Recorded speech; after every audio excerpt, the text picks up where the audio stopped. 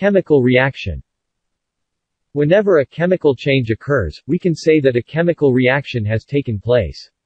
In a chemical reaction, a new substance is formed which is completely different in properties from the original substance. The transformation of chemical substance into another chemical substance is known as chemical reaction. For example, rusting of iron. The setting of milk into curd. Digestion of food, respiration, etc. What is actually meant by a chemical reaction? How do we know that a chemical reaction has taken place? Let us perform an experiment to find the answer to these questions. Burning of a magnesium ribbon in air. For this experiment we need a burner. Small part of magnesium ribbon. Sandpaper. A tong. And a watch glass. Follow these steps. Take a magnesium ribbon. Rub and clean the magnesium ribbon with sandpaper. This is done to remove the protective layer of basic magnesium carbonate from the surface of the magnesium ribbon. Hold the ribbon using a pair of tongs. Burn the ribbon using a spirit lamp or a burner. The burning ribbon should be held at arm's length. Do not look directly at the burning ribbon. You must have observed that magnesium ribbon burns with a dazzling white flame and changes into a white powder which is collected in a watch glass. Due to the reaction between magnesium and oxygen present in the air a new substance called magnesium oxide is formed. It is a state change of magnesium to magnesium oxide. The substances which take part in a chemical reaction are called reactants. The new substances produced as a result of a chemical reaction are called products. Any of the following observations helps us to determine whether a chemical reaction has taken place. In other words following observations are characteristics of chemical reactions. Evolution of gas. The chemical reaction between zinc and dilute sulfuric acid is characterized by the evolution of hydrogen gas. Change in color. The chemical reaction between citric acid and purple-colored potassium permanganate solution is characterized by a change in color from purple to colorless. Change in state of substance. The combustion reaction of candle wax is characterized by a change in state from solid to liquid and gas. Because the wax is a solid, Water formed by the combustion of wax is a liquid at room temperature. Whereas, carbon dioxide produced by the combustion of wax is a gas. There are some chemical reactions which can show more than one characteristics. Change in temperature. The chemical reaction between zinc granules and dilute sulfuric acid is also characterized by a change in temperature, which is a rise in temperature. Formation of precipitate. The chemical reaction between sulfuric acid and barium chloride solution is characterized by the formation of a white precipitate of barium sulfate. As we observe the changes around us, we can see that there is a large variety of chemical reactions taking place around us. Chemical equation When a magnesium ribbon is burnt in oxygen, it gets converted to magnesium oxide. This description of a chemical reaction in a sentence form is quite long. The simplest way to do this is to write it in the form of a word equation. Magnesium plus oxygen produce magnesium oxide. The left-hand side of a chemical equation represents the reactants. And the right-hand side represents the products. Is there any other shorter way for representing chemical equations? Representation of chemical reaction using symbols and formulae of the substances is called chemical equation. Chemical equations were first formulated by the French chemist Jean Beguin in the year 1615. If you recall formulae of magnesium, oxygen, and magnesium oxide, the above word equation can be written as the reactants and the products can be separated by one of the following four symbols. In order to describe a net forward reaction, this symbol is used. In order to describe a state of chemical equilibrium, this symbol is used. To denote stoichiometric relationships, this symbol is used. In order to describe a reaction that occurs in both forward and backward directions, this symbol is used. A few examples of chemical equations are listed below. A chemical equation is a way to represent the chemical reaction in a concise and informative way. A chemical equation can be divided into two types. First one is balanced chemical equation. A balanced chemical equation has the number of atoms of each element equal on both sides. Here is an example. In this equation, numbers of zinc, hydrogen and sulfate are equal on both sides, so it is a balanced chemical equation. Second one is unbalanced chemical equation. If the number of atoms of each element in reactants is not equal to the number of atoms of each element present in the product, then the chemical equation is called unbalanced chemical equation. For example, in this example, a number of atoms of elements are not equal on two sides of the reaction. So it is a unbalanced chemical equation. Balancing a chemical equation the number of atoms of each element remains the same, before and after a chemical reaction. Hence, we need to balance a skeletal chemical equation. Let us try to balance the following chemical equation step by step. Step 1. To balance a chemical equation, first draw boxes around each formula. Do not change anything inside the boxes while balancing the equation. Step 2. List the number of atoms of different elements present in the unbalanced equation. Elements we have iron, hydrogen, and oxygen. On the left-hand side, iron has one atom, hydrogen has two atoms, and oxygen has only one atom. And on the right-hand side, iron has three, hydrogen has two, and oxygen has four atoms. Step 3. Start with the compound that contains the maximum number of atoms. It may be a reactant or a product. Using these criteria, we select Fe3O4 and the element oxygen in it. There are four oxygen atoms on the right-hand side and only one on the left-hand side. To balance oxygen atoms we can put coefficient 4 as 4H2O and not H2O4 or H2O4. Because you must be remembered that we cannot alter the formulae of the compounds or elements involved in the reactions. Now the equation is partly balanced. Step 4. Iron Fe and hydrogen H atoms are still not balanced. Pick any of these elements to proceed further. 4 into 2 means 8. So there are 8 atoms of hydrogen on left-hand side. Now how many hydrogen atom on right-hand side? Yes, there is only 2 atoms. To equalize the number of hydrogen atoms we will put coefficient 4 at H2. Step 5. Now only one element is left to be balanced, that is, iron. To equalize Fe, we take three atoms of Fe on the left-hand side. Step 6.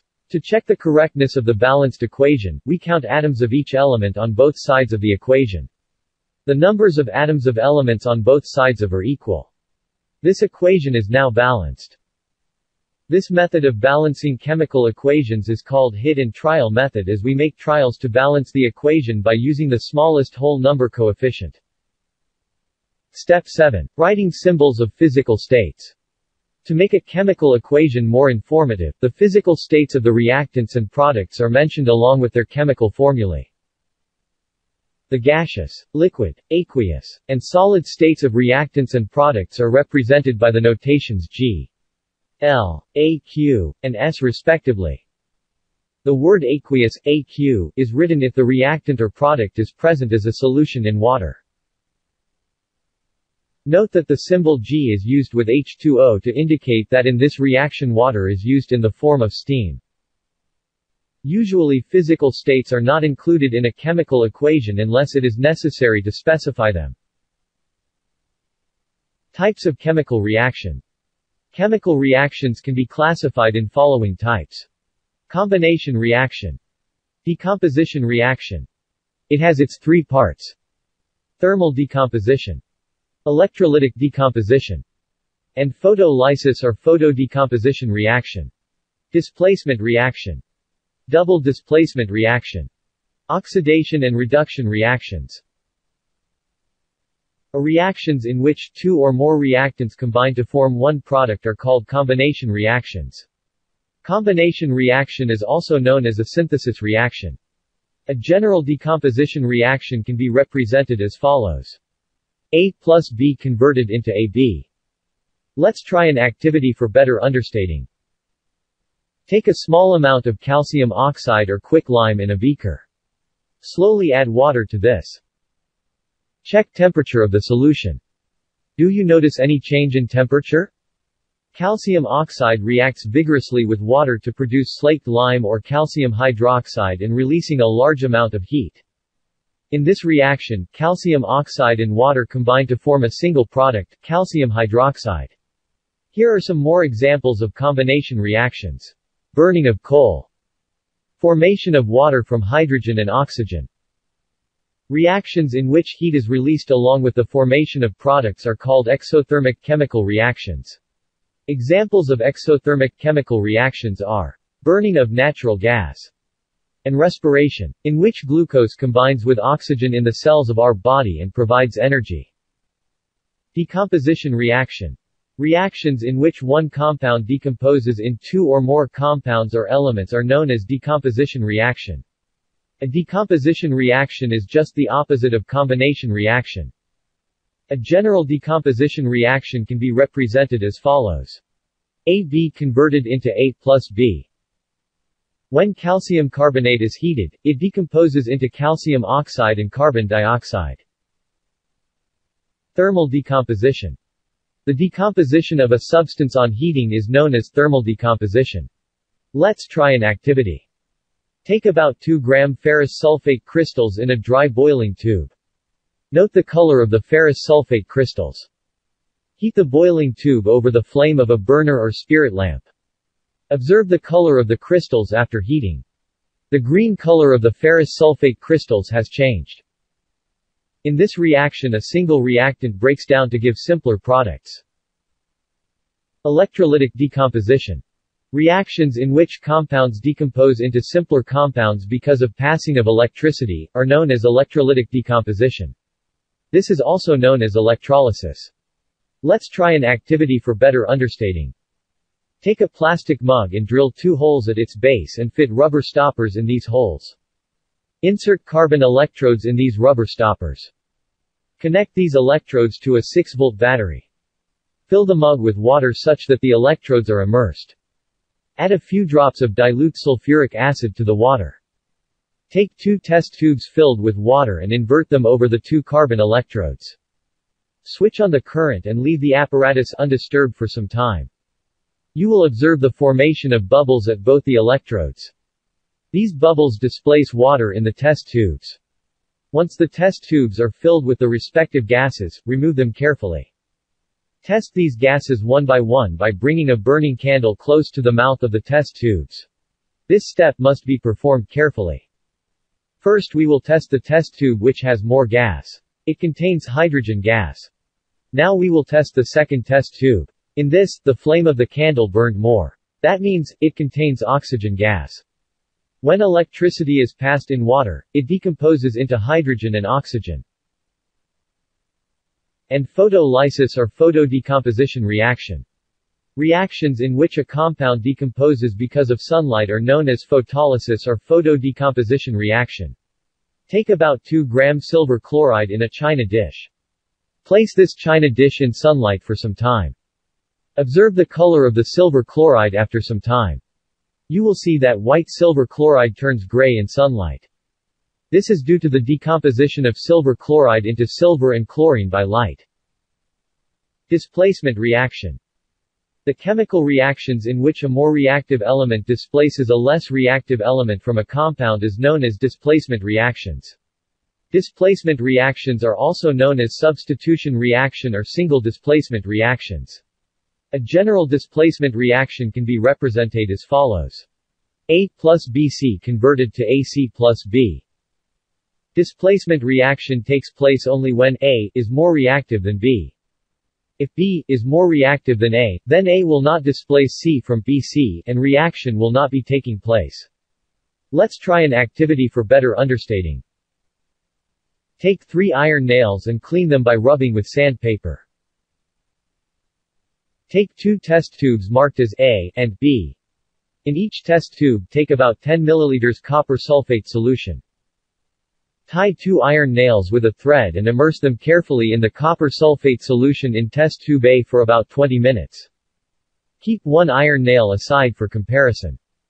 After 20 minutes, take out the iron nails from the copper sulfate solution. Compare the intensity of the copper sulfate solutions in test tubes A with B. Also, compare the color of the iron nails dipped in the copper sulfate solution with the one kept aside. Why does the iron nail become brownish in color? And why the blue color of copper sulfate solution fades? The following chemical reaction takes place in this activity. In this reaction, iron has displaced or removed another element, copper, from copper sulfate solution. Some more examples are here. When zinc reacts with hydrochloric acid, it gives hydrogen gas and zinc chloride. When zinc reacts with copper sulfate, it forms zinc sulfate and copper metal. Double displacement reaction. A reactions in which ions are exchanged between two reactants forming new compounds are called double displacement reactions. A general decomposition reaction can be represented as follows. AB plus CD formed AC plus BD. Let's try an activity. Take about 3 ml of sodium sulfate solution in a test tube. In another test tube, take about 3 ml of barium chloride solution. Mix the two solutions. What do you observe? You will observe that a white substance, which is insoluble in water, is formed. This insoluble substance formed is known as a precipitate. Any reaction that produces a precipitate can be called a precipitation reaction. In this reaction, when sodium sulfate reacts with barium chloride, barium sulfate and sodium chloride are formed. When sodium hydroxide reacts with hydrochloric acid, sodium chloride and water are formed. The double displacement reaction, in which an acid reacts with a base, to form salt and water, by an exchange of ions is called neutralization reaction. Oxidation and reduction reactions. The chemical reactions which involve the transfer of electrons from one chemical substance to another. These electron transfer reactions are termed as oxidation-reduction reactions or redox reactions. Let's do an activity. Heat a china dish containing about 1 gram copper powder. You will observe that the surface of copper powder becomes coated with black substance. Why has this black substance formed? This is because oxygen is added to copper and copper oxide is formed. If hydrogen gas is passed over this heated material, the black coating on the surface turns brown as the reverse reaction takes place and copper is obtained.